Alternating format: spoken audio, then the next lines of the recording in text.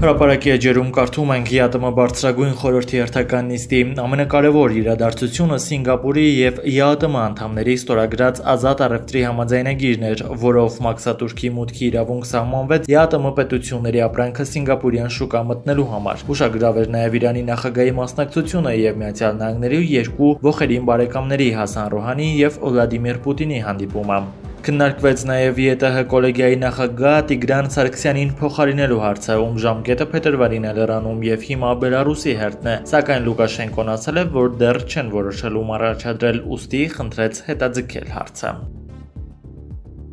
Երևանում Եվրասիական համաժողովին մասնակցելու եկած Բելարուսի օդիոզ նախագահ Լուկաշենկոն այս անգամ Հայաստան է ժամանել առանց որդու, սակայն դա նրան չխանգարեց օդիոզ անկեղծությամբ մտքեր հնչեցնել Փաշինյանի ներկայությամբ, որի հաստեին ժամանակ առաջել էր որոշ այդիոզ մտքեր հայտնել։ Ну так сложилось, что э, у меня вы очень хороший друг. И э, президент Азербайджана еще с давних времен хороший друг. Ну и что мне сегодня делать? Я с хорошим очень хорошо отношусь и к Армении, и к Азербайджану, и к руководству Азербайджана, что с тех времен, когда Гейдар Алиевич был Алиев, мы с ним начинали работать. И с вами у нас добрые отношения. Вы не переживайте, что мы будем дружить с кем-то против Армении.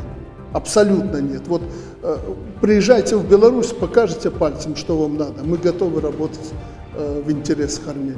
Поверьте, это такие отношения. Я вот затронул такую тему не дипломатично, может, мне не стоило ее затрагивать, но я не хочу, чтобы между нами были какие-то недомолвки. Вы знаете, что армяне и белорусы, нам, нам придется их чаяние выражать. Нам придется с вами дружить, потому что наши народы дружны.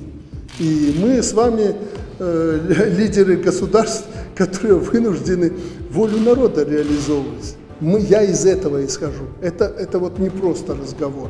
Вы должны поверить в искренность мою и знайте, что мы всегда хорошо будем к вам относиться, как к родным, как к братьям.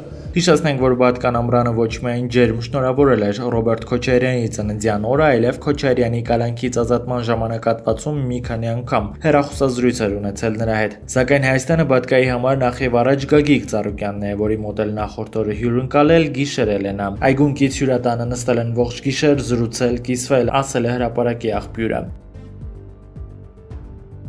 Արարատի մարզի նորաշանամայնքի արդեն նախկին ղեկավար Նորայր Գրիգորյանի եւ Արարատի մարզպետ Գարիկ Սարգսյանի հարաբերությունները լարվել են ազգային ժողովի ընտրությունների հողի վրա, երբ Գրիգորյանը, որի լիազորությունները մարզպետ Նորայրը զդադարեցրեց, ազատվել էր ոչ թե մարզպետի համար, այլ իմ քայլից մեկ ուրիշի տեխնացուի Սերգեյ Ատոմյանի, ով այժմ պատգամավոր է։ Ատոմյանը նորաշենցու թոռ է եւ մտերիմ է Նորայր Գրիգորյանի հետ։ Այս փաստն Արարատի մարզպետը ծանր է տարել եւ որոշել, որ ամեն գնով պետք է ազատի գյուղապետին։ Երեք պատգամավոր Սերգեյ Ատոմյանի Հայաստանից թերթարցրել է ճիշտ է, որ իր պատճառով է նախկին գյուղապետը հայտնվել մարզպետի թիրախում։ Պատգամավորն ասել է, որ ոչ միայն ինքն է նորաշենից լավ ձայներ ստացել, այլև իմ քայլի այլ տեխնացուներ եւս դիցուկ մարզպետը։ Գուցե ձայնն անձամբ ինձ է տվել, բայց դա ինչ կապ ունի։